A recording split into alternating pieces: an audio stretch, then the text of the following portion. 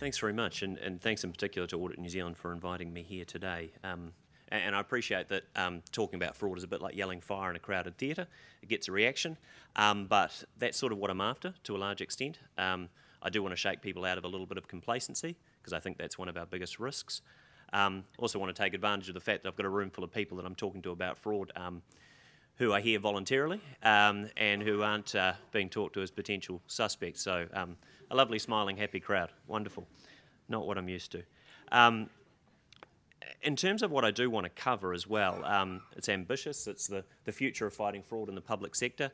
Um, probably not quite as ambitious as Peter having to guess what's happening with oil prices or Brexit. Um, I don't envy those tasks. But what I would like to do is, I suppose, talk a little bit about what the SFO does, dispel any myths or mystery around around that, because I won't presume that you know much or anything about us. Um, talk about what we're seeing at the moment. So, what are the trends? What are some of the individual cases, and, and what are we concerned about? Um, and also, to, to leave on an uplifting note, talk about what we're doing to respond to that, because I think New Zealand does have have some systemic issues around uh, what the way in which it deals with with fraud in the, in the, in the public sector and corruption in particular. And there's also some, some legal challenges as well, um, uh, where our legislation um, needs a bit of a dust off, and um, we're working towards that. So that, that will be a, a light at the end of the tunnel, hopefully. Um, I'll start out by just talking very briefly about who we are. I won't take you through an organisation chart of the SFO that will start an early run at the buffet. Um, the, the point of that, I suppose, is to say that there's 50 of us, so we're not large. And of those 50, um, there's 35, give or take, operational staff. Um, not a huge number. And I suppose the other thing to note, we're a little bit unique as well in terms of how uh, we investigate crime, um, in that we get the complaints in, we review them, we triage them, we commence an inquiry, we might commence an investigation, and then we go all the way through to a prosecution, taking it to trial, sentencing, the whole lot. That's quite unique in the sense that we don't uh, look at a crime, investigate it, wrap it up, and then hand it to some independent prosecutor or some separate agency. And that's deliberate. It's modelled on the UK SFO approach because we take the view, and this is seen as best practice internationally, that the types of cases we look at, you effectively end up investigating them twice, if you like, if you look at them at an investigative level and then wrap them off and send them somewhere separately. So we do look at them th throughout their, their life cycle. Um, the the thing to note, I suppose, is uh, the I suppose the, the view can be taken, does that affect our independence? We would obviously say no, and we have a, a director who makes the, the prosecution and the investigation decisions, and, and her her decisions can't be called into question by a court, so there is that independence in that sense. And there's also complete political independence. We do not have political interference or even involvement or, or any detailed knowledge unless absolutely necessary for extraordinary circumstances into our cases. So we do have that independence. Um, we also have a separate panel of uh, barristers who act on our cases, who, who, who, lead them at the prosecution end in conjunction with an SFO team. And again, that just gives that measure of independence where they're giving us their expert legal advice, but also that cross check, I suppose, that we're taking the right cases. Um, in terms of those cases, uh, Serious Fraud Office Act 1990, um, somewhat old, sort of a little bit fit for purpose, I suppose. Doesn't define fraud, which is interesting. Um, but what we're left with is what what is at the moment a pretty narrow mandate to investigate, um, detect, and prosecute serious or complex fraud. What that means is that conversations like I'm having today to try and give you some insight, eh, eh, they're not part of our core mandate at the moment, um, which I think is, and I'll, I'll, go on to belabor this point, a, a, little bit of a gap, I suppose. Our mandate is narrow, and with our 35 operational staff, what that results in is about 10 to 12 prosecutions a year. Um, which is for the office the size we are is a large number. But ultimately, unless you can leverage off that, unless you can get the learnings of that out there, actually get the lessons disseminated into the relevant communities or, or sectors or, or, segments of, of the country, um, then we aren't having full impact for that. All you've got at the end of your 12 prosecutions is 30 people in jail. Great, that's a, necessary thing, but it's quite a blunt instrument. Um, so we do need to do better as a country in terms of how we tackle fraud and corruption, particularly in the public sector.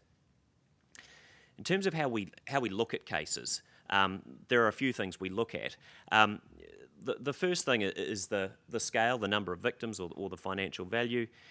to be honest, it's all about context. In that, I have read in the papers that our financial threshold is some magical figure of 1 million, 2 million, and I've even read 5 million. Um, I, like Auckland property prices going up for no apparent reason with no basis. Um, the reality is, if you're in the middle of the GFC and Hanover and Bridgecorp are falling over and $500 million is being lost, a million dollar case isn't very big. Um, in more normal financial times, it might be. So it is all about context. It's certainly a, a, a factor that we look at, and the number of people affected is even more of a factor. Um, so the it's probably fair to say anything under a million dollars may not make, take our attention, but it depends on a number of other things.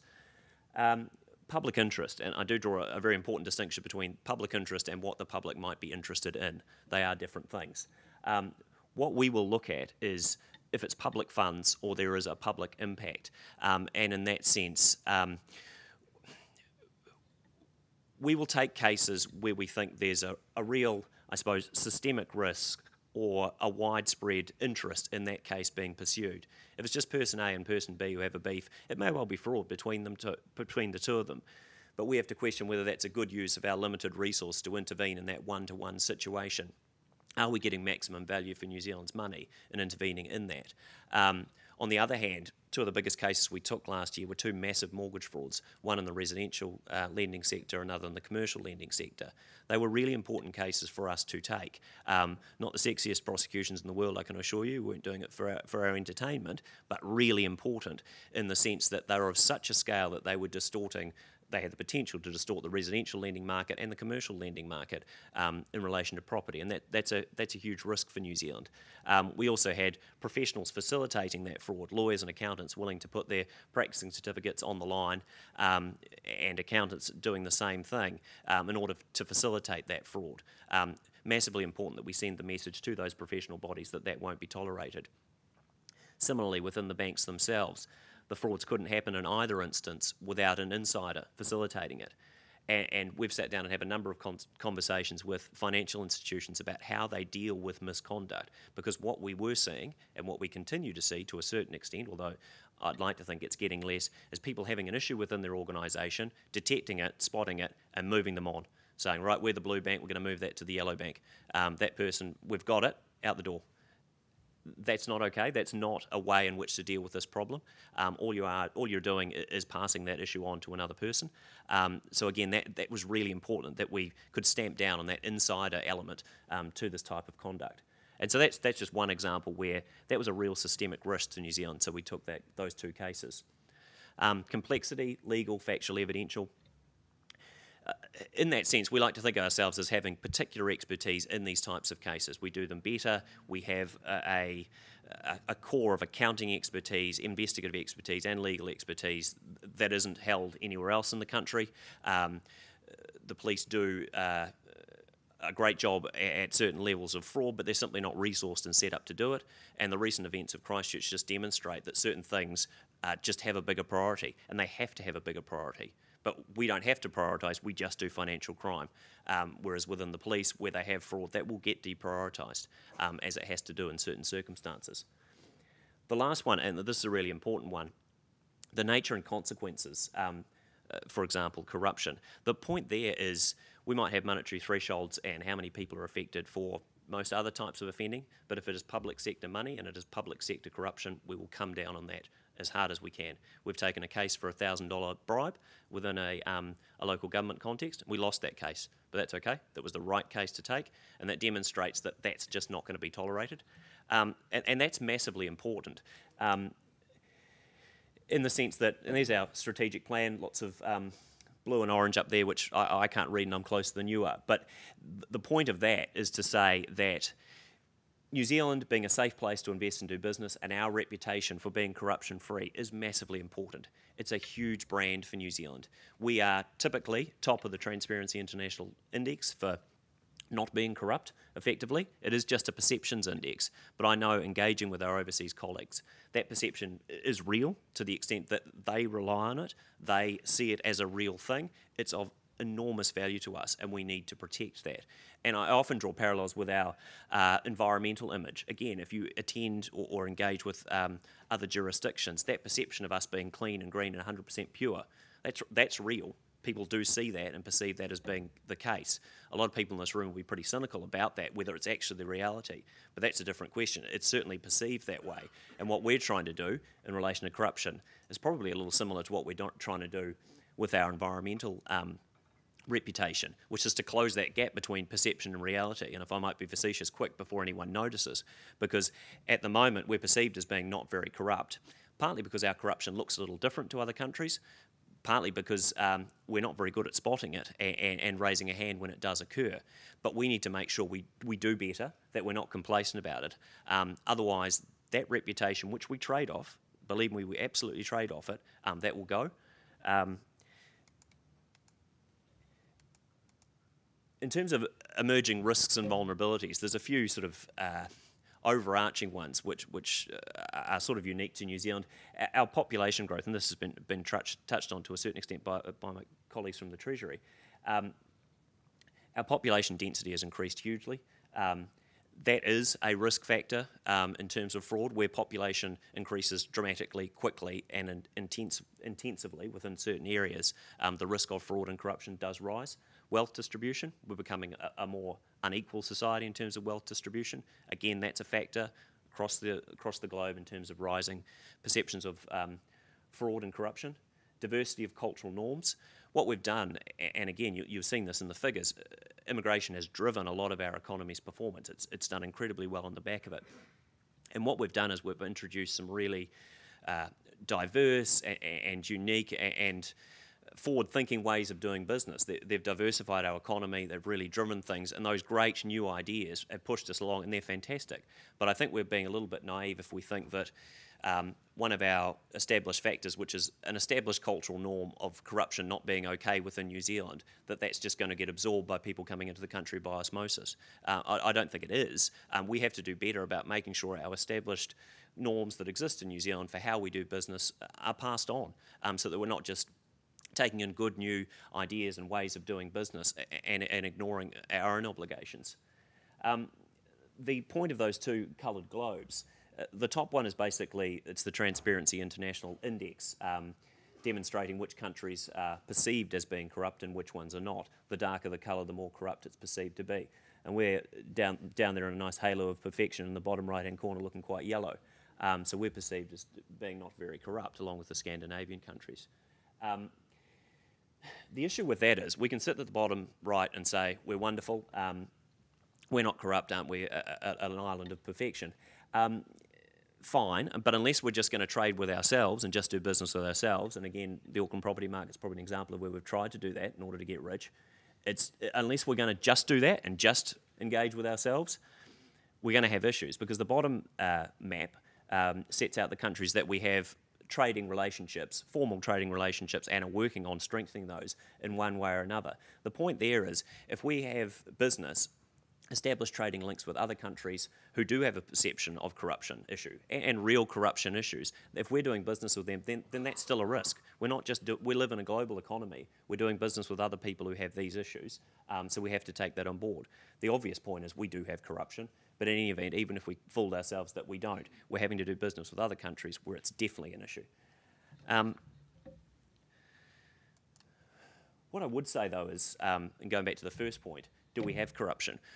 We absolutely do. Um, what we don't have when I, when I talk about it with, with other colleagues is the type of corruption with money in a brown paper bag and people getting kidnapped and, and extortion happening on, on some dramatic scale, as you might see in, in, in TV um, or movies. Um, but we have more insidious corruption. What we have in New Zealand is a failure to recognise conflicts of interest. We have a failure to, and we might justify that to ourselves, and I hear these conversations all the time that look, I, I, you know, I have that interest, but and yes, I went to school with that person, but that's a good thing because I know they're the right person for the job. Yeah, I helped them out with the tender, but they were going to get it anyway because they're the best person to do it. Um, a failure to declare interests and a failure to declare relationships. New Zealand's a village, it's a small place. If I can't do business with them, I might as well just shut up shop. Uh, these are just justifications and they're just not true. Other countries that are smaller than us deal with this better, um, and those just aren't justifications. Um, so it's a complacency in understanding what corruption is, because it can be as insidious as that, um, and it can just be, I suppose, in terms of that complacency, what we see is it's led from the top. absolutely led from the top. You will very rarely have an instance where you go into an organisation and corruption has occurred um, where there hasn't been a slackness of process or gaps that have emerged which haven't been effectively sanctioned from the top in that those processes have been allowed to be avoided. It's very rare that that just happens. It's, it happens within an environment where that's seen as okay. Um, we have a difficulty in understanding the scale and extent of corruption in New Zealand, um, and, and, the second and third bullet points probably go together, and this is some of the work that we need to do um, in order to get our heads around what corruption looks like in New Zealand. Um, we have um, some really great work that's being done in, in, isolated areas of the public sector within New Zealand to prevent corruption, to prevent waste, error, um, and fraud generally.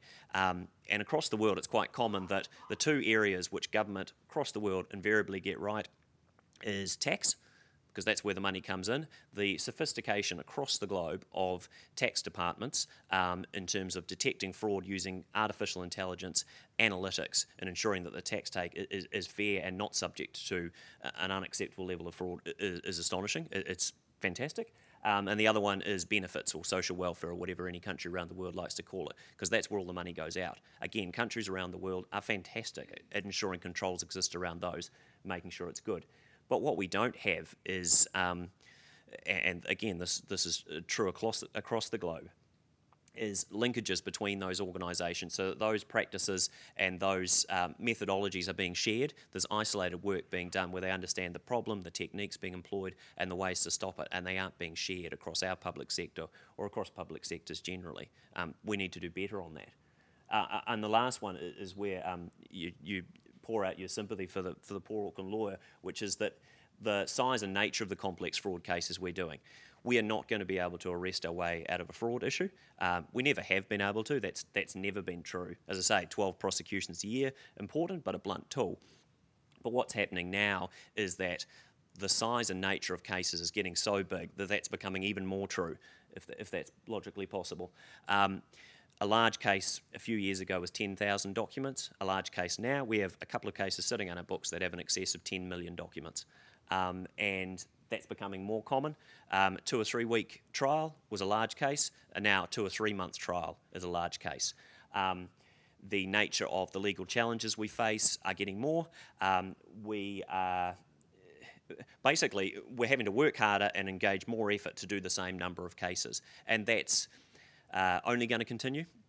It exists. That issue exists in a civil and a criminal context. Um, so unless the criminal law is going to get more efficient um, and more sensible, which just isn't going to happen, um, it's becoming more the case that we need a new approach, um, and that approach has to be focusing on prevention at the moment, uh, there is there is a real focus on, on prosecution of those large scale cases, but not enough money and not enough time and effort is invested in a prevention model. That is seen as the world class approach to um, how you engage with corruption and fraud within the public sector. The countries that are catching up with us and moving us down the Transparency International Index are doing exactly that. Dedicated anti corruption agencies leading a coordinated approach across their public sector to prevent fraud alongside that, you need an agency who's prosecuting it appropriately because you always need that stick. Um, but that's where we need to head a prevention model. In terms of what we're seeing, and I'll, I'll, run through this only very briefly, but it, it, picks out some of the examples of what are on our have been on our books recently. Um, and uh, I suppose because I want this to be valuable for you guys at, at, a, at a detailed level as well, some of the things we saw that perhaps led to the fraud. The first one was um, the uh, Waitangi National Trust um, were defrauded by one of their financial controllers. Really simple thing, really. He was basically able to access other people's passwords and other people's approval passcodes for the accounting system and for other methods of approval through those people being sick and giving them their passwords, through those people leaving the organisations and not having those passwords closed down. Um, they continue to exist after they left, um, and just not really good security, just a real trust environment rather than a process environment, um, and that allowed him to steal 1.2 million dollars to spend on uh, on himself. Um, the second one, home detention for, for the chap um, defrauding a government-funded disabilities trust. That was just an example where a, a person was able to uh, push all of the trust's work to one supplier and get kickbacks from that supplier. It wouldn't have taken much scrutiny to see that the person or the organisation receiving all of the work for this trust wasn't qualified or able to do this work. It should have raised red flags, but, but it didn't. All the work went in that one direction, um, and um, it was spotted far too late. The last one's one out of here in Christchurch, where a couple uh, was doing what was on its face um, incredibly noble work, providing um, developmental services for intellectually disabled people, um, and they were able to, they were charged and, and pled guilty in the end to $500,000 worth of um, that charity's money, um, spending it on themselves. Uh, and yeah, it, there was probably a combination of factors. It, was a strong personality, but also, and we see this a lot, where the purpose is noble and the the work being done is good and looks on its face to be something that shouldn't be challenged. It isn't challenged. We're not very good in New Zealand at speaking up. Um, and across those top three, you had a combination of strong personalities. It's usually charm, sometimes it's bullying, but in any event, it's people who ride roughshod over processes um, and, and, get away with it.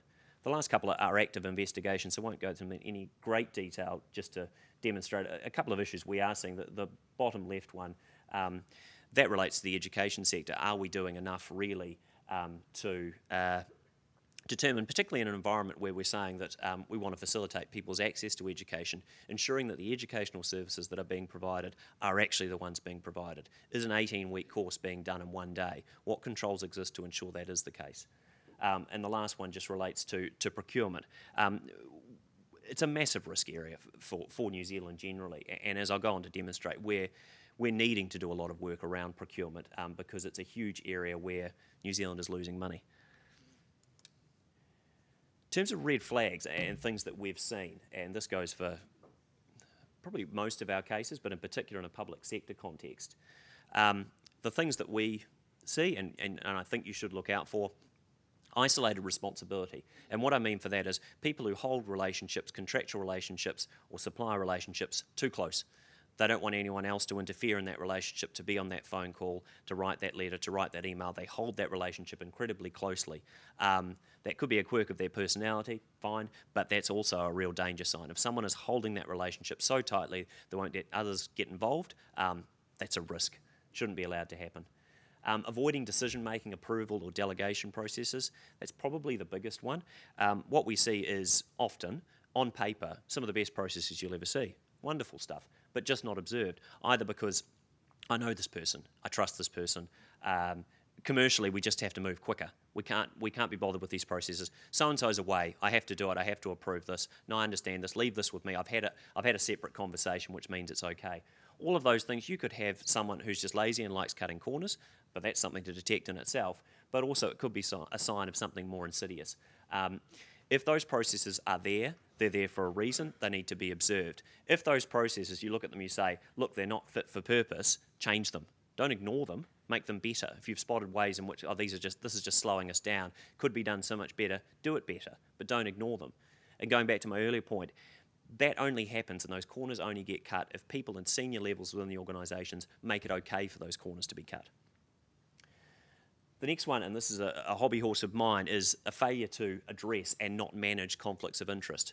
I've heard repeatedly, and, and, the noise is just getting louder over the last little while, people justifying conflicts of interest by saying they were managed. Yeah, I was in the room, I had a conversation around. Um, uh, the the merits of the of the, the proposal, whatever it might be, but I didn't speak up for it. I wasn't advocating for it. I was just setting out facts. Or I was in the meeting for a little while and then I left for a little while and then came back managing conflicts is, is an area where New Zealand falls down hugely. Um, oftentimes, the best way to manage it is they can't be managed. You avoid them.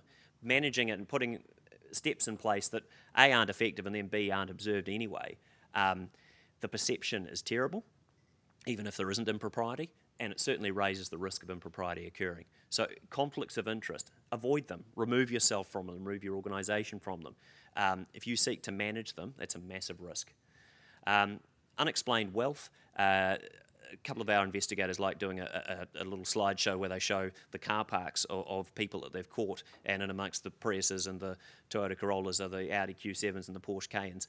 And my investigators, who are a suspicious lot, would happily handcuff them to their, steering wheels and, and, take them away on that basis alone. And I don't necessarily suggest that, although it's a it's a free will, do it if you like.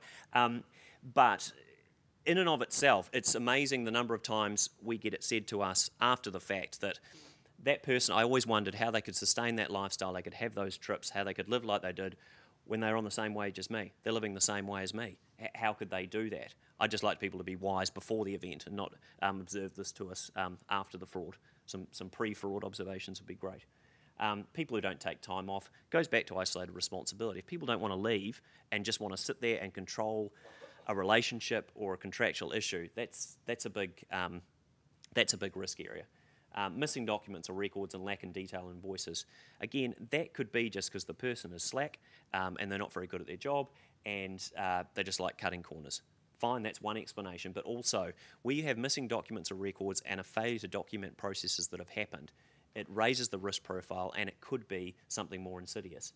Now, none of these things taken in isolation represent you know, a definitive fraud, and even all of them don't. But if you're seeing a lot of these things, then it is something to inquire into further um, because the number of times we get told afterwards, we could tick these off when we're having a conversation. People after the event are great at spotting these things.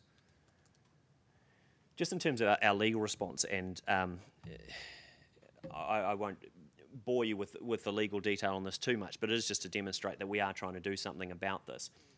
At the moment, we have a public-private distinction in our legal framework with how we deal with fraud and, and corruption. Um, that's not the way it's dealt with internationally. I think that will go. We need to define what constitutes corrupt conduct better. At the moment, it's an amalgam of case law um, and uh, yeah, judicial made definitions. We need to do better. We need to actually define corruption and allow me to bang this pulpit a bit better if I can just bring that up and say that's corruption. Um, clarifying corporate liability. At the moment, it's difficult in New Zealand to chase corporations who allow bri bribery or corruption to occur. Um, legally, it's tough. Um, we shouldn't be in that position where we're facing technical arguments. If corrupt conduct has occurred at an organisational level, we should be able to pursue it. Creating a new offence for abuse of public office. Again, we have technical arguments around a person sitting within a public office saying, yeah, this occurred, but it didn't lead directly to that tender being won, or I didn't directly take that piece of paper and pass it on to that person, which then resulted in a benefit. I'd rather not be able to, to have to join those legal dots. Sometimes the offence, the corruption, is broader than that. It, it is an abuse of public office that that person is generally using their public office for a private gain. Um, again, that's the international standard. Um, and responding to international trends, facilitation payments they're not okay in a foreign bribery context. Um, they shouldn't be, and we've diminished the circumstances in which they can be okay, should just be off the books. A facilitation payment being where you pay a little bit of money to make a process go quicker. At the moment on our statute books, in a foreign bribery context, that can be okay. Needs to go, it just looks bad. Um, and the requirement for the Attorney General's consent to prosecute, that's never been practically an issue but he is or she is a political appointment, um, and so for New Zealand's perception's sake, we need to remove that um, and have it sitting down at a non-political level. Um, again, our international reputation suggests that we need to do that. Taking a consistent approach to penalties and adopting a non-prosecutorial mindset. Again, if we just keep trying to arrest our way out of the fraud problem, we're not going to win. And lastly, just the systemic response, and this is the anti-corruption work program that the SFO is, is leading across the um, public sector. What we're trying to do at the moment is develop a shared understanding of corruption in New Zealand. So we're at the data gathering phase. Um, once we have that information, and what we're trying to do at the moment is review the controls for the allocation and expenditure of public money. And that's for central and local government, um, because the controls that exist in there at the moment are often directed at getting value for money, but are they directed specifically at fraud and corruption? Um, and we don't think they are.